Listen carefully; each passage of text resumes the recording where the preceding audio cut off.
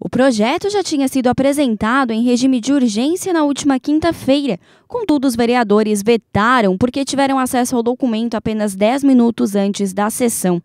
O maior questionamento era em função da quantidade pedida pelo prefeito, com a justificativa de que o dinheiro seria para pagar os salários dos servidores e os salários deste mês já haviam sido pagos.